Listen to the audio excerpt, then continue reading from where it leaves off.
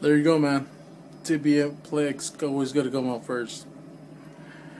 This clan right here, fucking garbage. They're fucking high like pussies. That's only shit they know how to do. Um, it was only two of them. I guess um, they called one of the boys to um take care of me, but like I say, you know, I guess he got a rage quit, you know. But hey, you know, when they have clans that are fucking garbage, I guess he couldn't handle the tea bags in his face. Like I said before, man, fucking garbage. Look at that. No extra lights. No switch in the back.